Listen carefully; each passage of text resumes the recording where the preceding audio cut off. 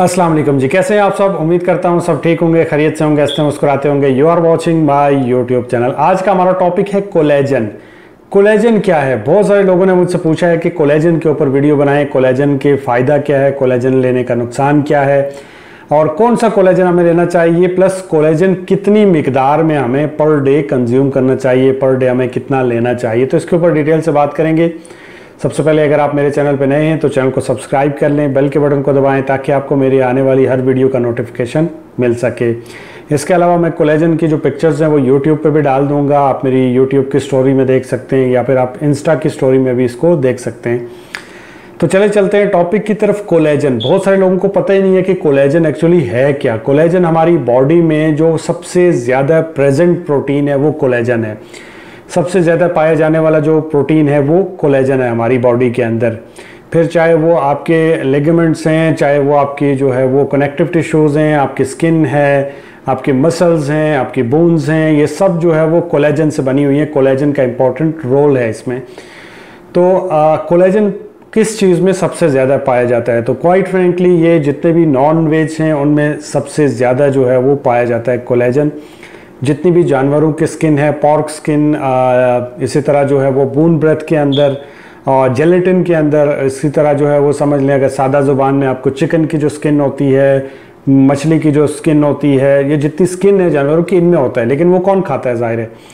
तो क्या है कि उनको ब्रेक डाउन किया जाता है, उसको जो है वो ब्रेक डाउन करके हाइड्रोलाइज करके उसको ताकि ये आराम से आपको जो है आपके बॉडी के अंदर जल्दी जो है इसका असर हो जाए। इसलिए इसको ब्रेक डाउन करके इसको बनाया जाता है कोलेजन पेप्टाइड्स की सूरत में जो है इसको स्टोर किया जाता है। अब ये पाउडर की सूरत में भी मिलता है, इसी तरह टैबलेट की सूरत में भी मिलता है। तो ये कुछ अरसे से जो है इसके ऊपर रिसर्च होना शुरू हो गई है और इसके बहुत अच्छे रिजल्ट्स हैं। तो चलें, चलते हैं इसके फ़ायदों की तरफ़। तो इसमें नंबर वन पे आता है स्किन ये स्किन की हेल्थ के लिए बहुत अच्छा है स्पेशली जिन लड़कियों को जो है वो रिंकल्स हैं फाइन लाइंस बन चुकी हैं, जिन लड़कियों को या फिर लड़कों को झुरियाँ पड़ चुकी हैं, उन लोगों के लिए बहुत अच्छा है। उसके साथ साथ ये स्किन में जो आपकी एजिंग प्रोसेस है, उसको कम कर देता है। फॉर एग्जांपल आप देखते हैं कि कुछ लोग ऐसे होते हैं जो कि जो छोटी उम्र में ही बड़े लगना शुरू हो जाते हैं। तो ये उनके लिए बहुत अच्छा है। सो वो कोलेजन ले सकते हैं। एक रिसर्च में देखा गया कि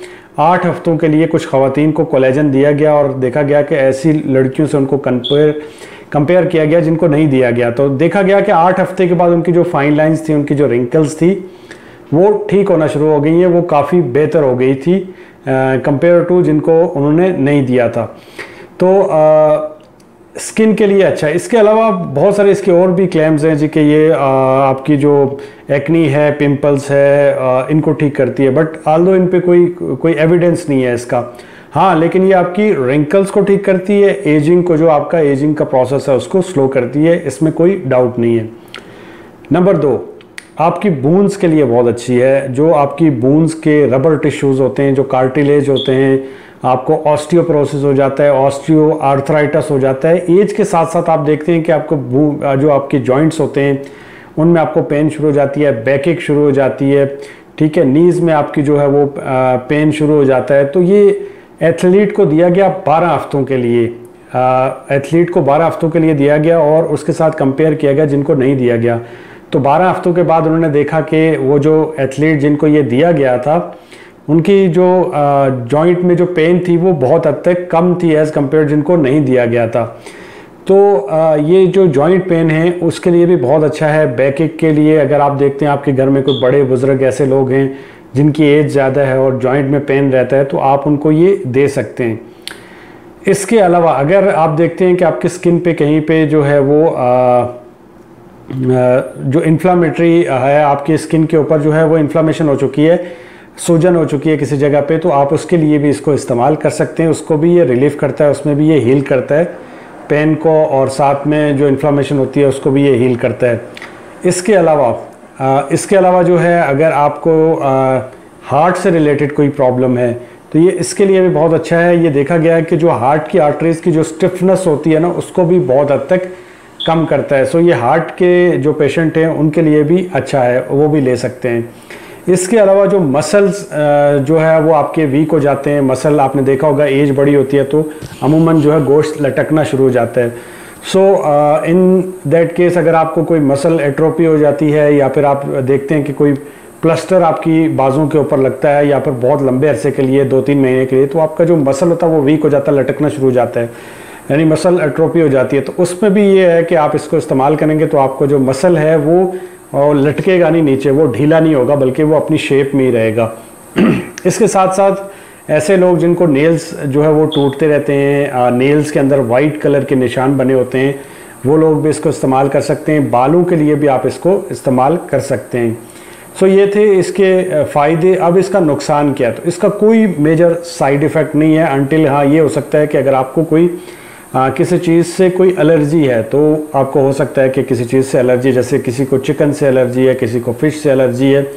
तो ये क्योंकि स्किन जो है वो इनकी स्किन से बना होता है चिकन की स्किन से फ़िश की स्किन से उनको ब्रेक डाउन करके बना होता है पाउडर की सूरत में हाइड्रोलाइज किया होता है ठीक है? सो हो सकता है कि आप में से किसी को इससे एलर्जी हो। मतलब जिन लोगों को स्किन से एलर्जी है चिकन की स्किन से या फिर चिकन से एलर्जी है फ़िश से एलर्जी है उनको प्रॉब्लम हो सकती है अदरवाइज़ इसका कोई मेजर साइड इफ़ेक्ट नहीं है, आप बिला झिझक ले सकते हैं। अगर आपने स्किन अपने स्किन के लिए लेना है, चेहरे पे अगर आपके फाइन लाइंस हैं रिंकल्स हैं, झुरियाँ पड़ चुकी हैं, आप चेहरे के लिए ले रहे हैं एजिंग प्रोसेस को कम करने के लिए ले रहे हैं तो आपने डेली फाइव ग्राम लेना है, ठीक है? इसकी जो स्मेल है वो इतनी अच्छी नहीं होती है इसका टेस्ट जो होता है वो इतना अच्छा नहीं होता सो आप कॉफ़ी के अंदर ऐड करके ले सकते हैं। यू नो एक टीस्पून आप कॉफ़ी में ले सकते हैं, आप जो है वो जूस बना के ले सकते हैं, पानी के साथ ले सकते हैं, दूध के साथ ले सकते हैं। कैप्सूल मिलते हैं, अगर आपने कैप्सूल लेना हो तो आपने जो है वो सुबह के टाइम नाश्ता करने के बाद एक कैप्सूल इसका ले लेना है। तो आप इसको इस्तेमाल कर सकते हैं, इसका कोई साइड इफ़ेक्ट नहीं है। और आपने, आपको मैंने बता दिया, अगर आपने जॉइंट्स पेन के लिए लेना है, आपके घर में कोई बुज़ुर्ग हैं जिनको जॉइंट्स में दर्द रहता है तो आप अगर उनके लिए ले रहे हैं तो उनको पर डे आप जो है वो आठ जो है वो ग्राम तक आप उनको दे सकते हैं। आप दूध के अंदर दे सकते हैं, कॉफ़ी के अंदर। जैसे उनको टेस्ट अच्छा लगे, वैसे वो ले सकते हैं। और टेबलेट भी आपने एक ही लेनी है, जैसे मैंने आपको बताया है। तो इसमें ये है कि आप ये इस्तेमाल कर सकते हैं। इसमें कोई इसका नुकसान नहीं है, बहुत फ़ायदेमंद चीज़ है। और मैं जो इस्तेमाल करता हूँ और मेरे घर में जो इस्तेमाल करते हैं कोलेजन पेप्टाइड्स, उसकी मैं आपको तस्वीर दिखा देता हूँ। ये हाइड्रोलाइज है, ये आपकी स्किन के लिए भी अच्छा है, आपके हेयर के लिए भी अच्छा है जॉइंट्स पेन के लिए भी अच्छा है। बट हैविंग सेट दैट अगर आपको ये नहीं मिलता है तो आप कन्फ्यूज़ मत हूँ।